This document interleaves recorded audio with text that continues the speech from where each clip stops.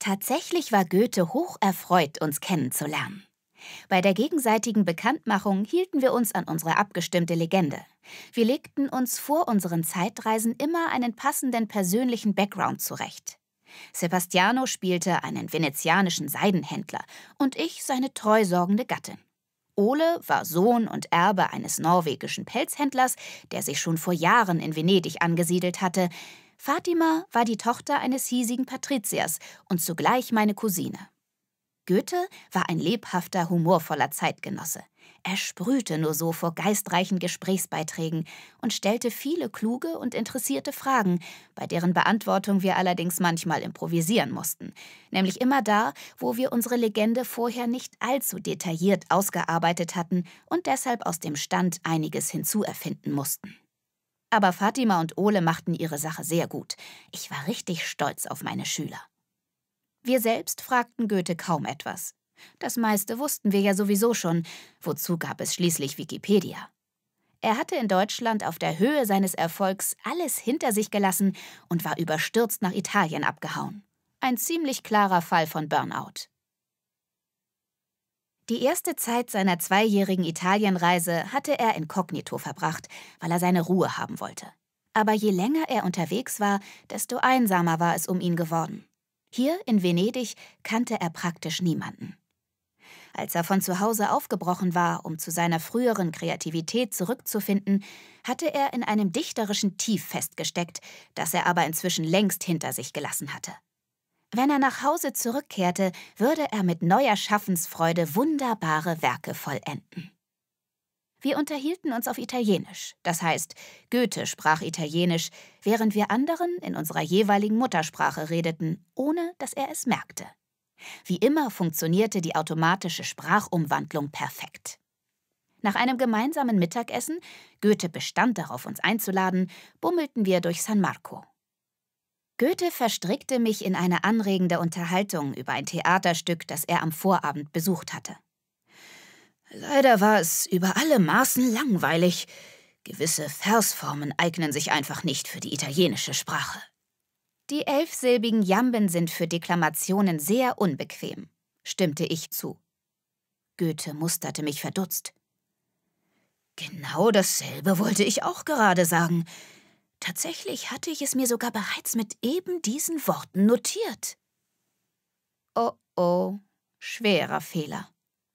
Sebastianus verärgertes Räuspern sprach Bände, ihm war es auch nicht entgangen. Ich hatte zufällig genau die Stelle wiedergegeben, die Goethe als Kommentar zu diesem Theaterstück in sein Reisetagebuch geschrieben hatte, welches mir natürlich in allen Einzelheiten bekannt war. Ich musste schlucken und konnte mich nur damit trösten, dass er es sowieso vergessen würde. Zeitreisende blieben nur Eingeweihten im Gedächtnis. Für Goethe gab es jetzt kein Halten mehr. Er meinte, in mir eine Seelenverwandte gefunden zu haben und wollte über die Feinheiten des jambischen Versmaßes reden. Gestatten Sie, Signor, sagte er zu Sebastiano. Dann hakte er mich unter und setzte sein Gespräch mit mir voller Begeisterung fort. Gefolgt von Sebastiano und unseren beiden Schülern schlenderten wir in Richtung Mole. Zahlreiche Gondeln tanzten dort an der Anlegestelle. Die Sonne blitzte auf dem Wasser und tauchte die Silhouetten von San Giorgio Maggiore und Santa Maria della Salute in ein durchscheinend helles Licht. Ich rief den Inhalt von diversen Vorlesungen ab, wozu hatte ich Literatur mit Schwerpunkt Lyrik studiert und glänzte mit allen möglichen Basics zu diversen Versformen. Aber mein Spaß an unserem Auftrag änderte sich schlagartig, als wir die Mole fast erreicht hatten. In meinem Nacken breitete sich der Anflug eines Juckens aus. Ein ganz schlechtes Zeichen.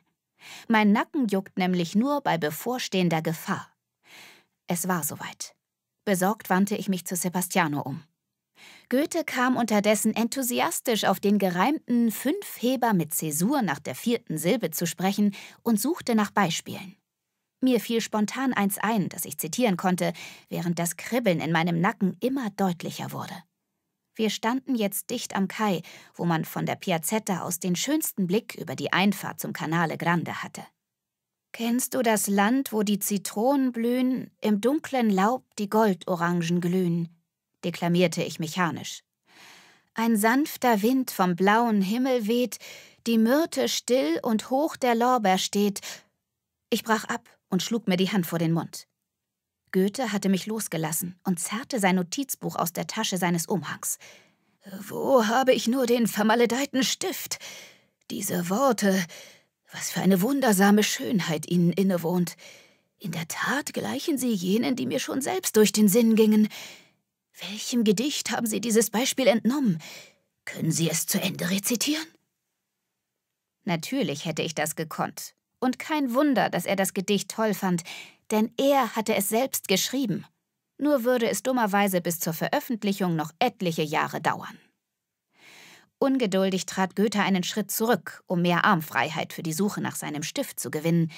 Dabei übersah er eine Frau, die gerade in eine Gondel steigen wollte. Sie hatte ein Hündchen unterm Arm und war tief verschleiert, weshalb sie vermutlich auch nicht bemerkte, dass Goethe direkt hinter ihr stand. Und der sah wiederum sie nicht, weil er in seinen Taschen wühlte. Im nächsten Moment war es auch schon passiert. Es ging alles unglaublich schnell. Der Hund sprang der Frau vom Arm und geriet Goethe zwischen die Beine. Er stolperte, versuchte sich irgendwo festzuhalten und erwischte den Schleier der Frau. Der bot ihm aber keinen Halt, sondern riss unter seinem Griff entzwei, worauf die entrüstete Frau ihm einen heftigen Schubs versetzte, der ihn geradewegs über die Mole in das dunkle, tiefe Wasser des Bacino di San Marco beförderte. Das glaube ich jetzt nicht, sagte Sebastiano zutiefst entnervt. Doch er zögerte keine Sekunde, sondern sprang dem versinkenden Dichter sofort hinterher. Das war also der Sturz, sagte Ole, während er neben mich trat. Erstaunt schüttelte er den Kopf.